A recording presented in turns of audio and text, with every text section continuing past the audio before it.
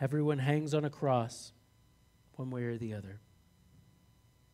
For since sin has entered this world, every person is guaranteed to suffer and die, and there's simply no escaping that future. And tonight I invite you to consider to yourself which cross will you hang upon? One of the most interesting things to think about in the crucifixion account, while there's much to consider, is the different people's reaction to the events and ultimately to the person of Jesus Christ himself. We could think of the disciples swearing great allegiance and courageously that they will die with him and ultimately failing at the last moment. We can think of Peter going that extra step beyond his compatriots and following Christ only to deny him when challenged. We can think of Judas, who, if he ever uh, had a curiosity or faith about Christ, lost it and betrayed him for money. We can think of the chief priests, who couldn't care less whether Jesus was innocent or guilty, but only that he posed a threat to their central God, themselves and their power, and thus he must be eliminated. We can think of Pontius Pilate, who saw Jesus as probably a inconvenience at the most, and while he saw Christ's innocence, was willing to sell it out to keep the peace. We can think of those Roman guards who, given the opportunity to mock and abuse a Jewish peasant who had claimed to be the king was the perfect opportunity for them to show that Rome was, after all, completely dominant over them, the greater state, the greater nation by far, and thus to take that out in the most graphic fashion upon this would be king of the Jews. And of course, we can think of the crowd, so easily directed. For while certainly the uh, chief priests and scribes and the Pharisees were at the center of the conspiracy to imprison Christ, there can be little doubt that there were some on Palm Sunday sounding, shouting, Hosanna, Hosanna, while others that would later shout, Crucify him, crucify him. But the reactions that we'll evaluate tonight concerns one of the difference uh, one of the differences between the gospel accounts. And we'll note that differences are not contradictions. We see that Matthew records only that two thieves crucif- were crucified uh, by Jesus, and they both mocked Jesus. And that's all he tells us. That these, uh, these, these condemned thieves, in deciding to gain some last bit of bitter pleasure, sought to deride and tear down another person in their same circumstance.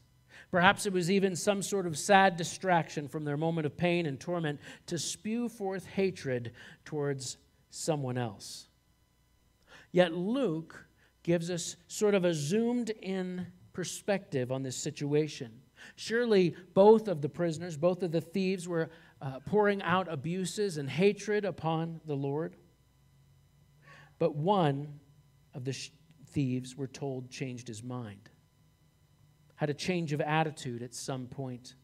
Perhaps it is as he beheld the grotesque hatred of man poured out before a person who'd been stuck to a cross. Perhaps it was just the exhaustion of his approaching death that caused him to be only slightly more reflective than the other. But he begins to rebuke the other because he recognizes that Jesus was innocent, whereas they were on their crosses from earned results from crimes that they had committed, them and no one else. And he tells the Lord a very simple yet significant statement. He doesn't say, I'm sorry for, for you. He doesn't say, My, you have it rough, or Oh, isn't this unfair? Instead, he says, Remember me when you come into your kingdom. This means that this poor thief who is gaining the just results of his crime recognized in that moment that Jesus Christ was the Messiah. We can't say what he saw or didn't see, heard or hadn't heard along the way. Surely, as they were preparing for their crucifixion, these two thieves, there was hubbub and um, bustle around, noting that there would be a third to be crucified with him and maybe a chance to hear his story. But even more so, we know that Jesus was a sensation in his time. And that over the three years of his ministry, that everybody would have heard of him and undoubtedly of his messianic claims. This shows that the thief knew and anticipated a future kingdom. That uh, one thing that Jesus affirms with his answer after a fashion. He knew that there would be a resurrection of the saints of Israel. This was common. This was from uh, Daniel chapter 12. They knew that there would be a resurrection of the righteous saints of Israel to come and be a part of that kingdom period. At the end of the day, though, we find that he had a simple faith in Jesus as the Messiah. He surely knew little or nothing as to what Jesus was doing on the cross, except that he didn't deserve it. And yet, as we know him, he's the last of the Old Testament saints of Israel that we know of that was saved before the start of the church. Jesus responds to this thief by saying nothing of the kingdom, but instead telling him today, that very day, he would be with that, or that man would be with him, rather, in paradise. Paradise here, standing for the place of the righteous dead, corresponding with the Old Testament bosom of Abraham and Sheol. So it's at that day, that very day, he would not go into the kingdom, but that very day he would go a poor sinner, a thief on a cross, to the place of the righteous dead. Now, some soteriology notes here on what we believe about salvation. There was no time for this man to sign a, sign a commitment card. He couldn't walk an aisle, even if he'd wanted to. He couldn't go through an alpha course. He couldn't be baptized, rededicated, nor did he have time to take communion. In fact, if anything, his crime would have had him imprisoned even to uh, over the Passover, so that he would have missed the high holy day of Israel that was to be the last time that he would be alive on this earth. Yet he was saved because he had a simple faith in Jesus Christ. Salvation in every era and every epoch is the same faith alone, by grace alone, by the work of Christ alone. So now we've seen two crosses. The first cross is the cross of the worldling. The worldling sat and continued to revile Christ and to reject him. Think of the audacity if you really are Christ, prove it.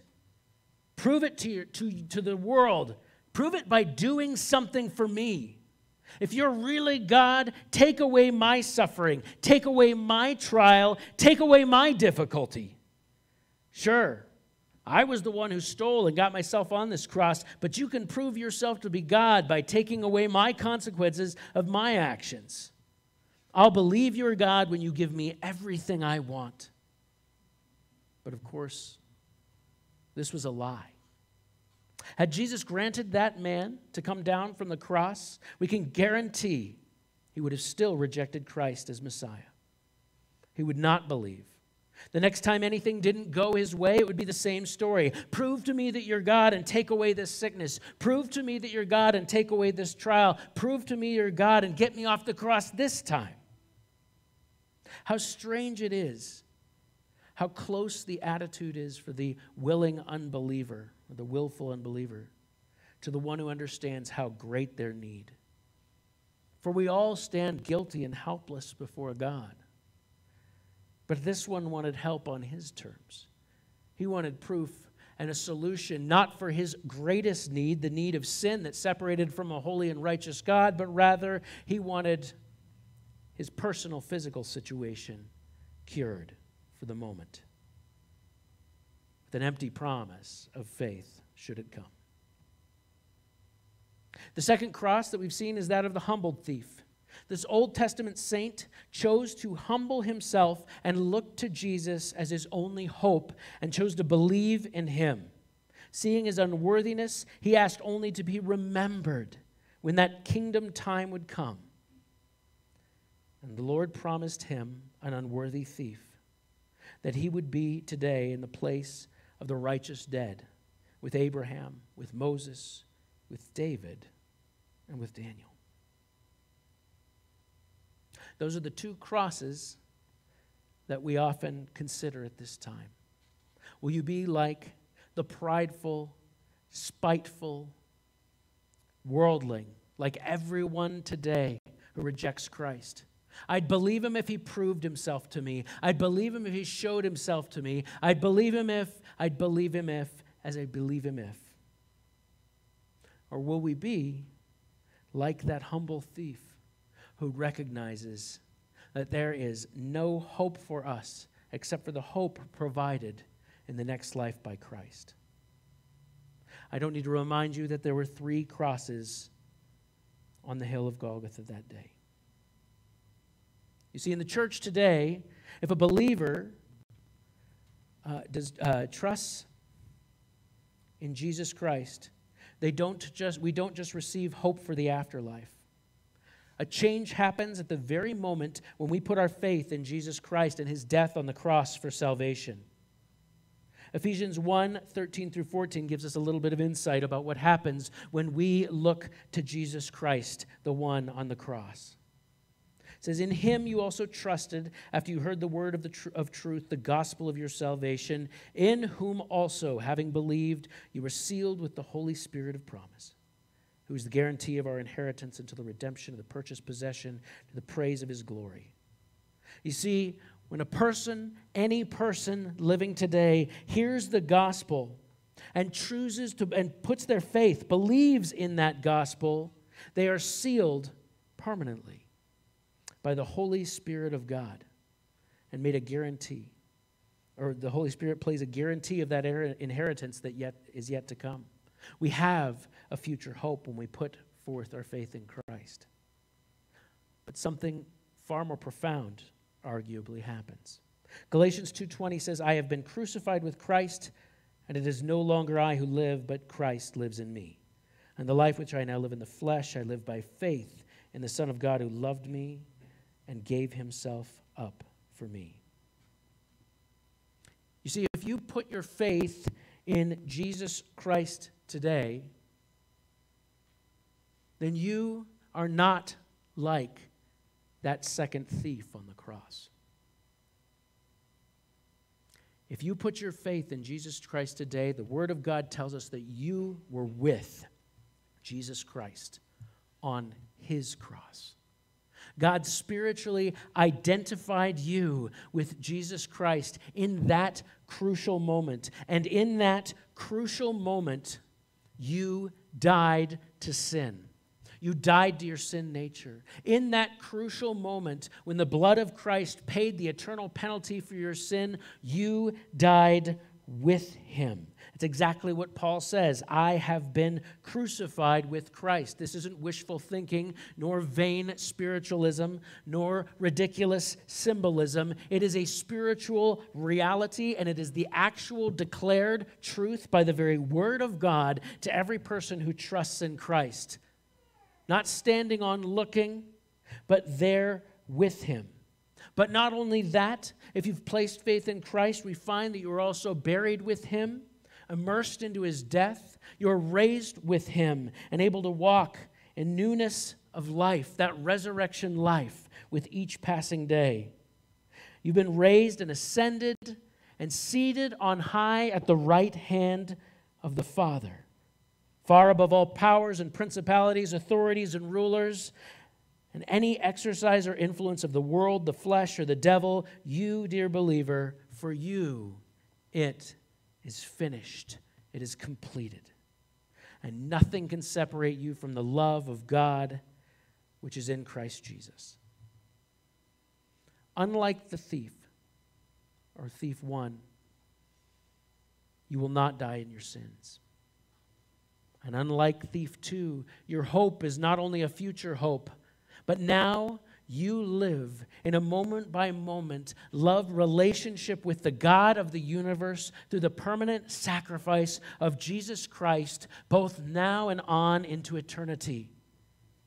This day that we celebrate on Good Friday, that goes on into our Resurrection Sunday celebration, is the pivotal moment. It is the place wherein your life was taken, your sinful life was taken from you, and your new life in Christ was given to you forever and ever. Amen. It may be easy to want to weep for the sorrows and the, and the pains of what Christ endured on our behalf, but far better to have your eyes filled with joy knowing that because of what Jesus Christ did, you will be with him forever and ever. All of this because Jesus Christ came to earth and gave his life for our salvation. So I ask you this evening which tree will you hang on?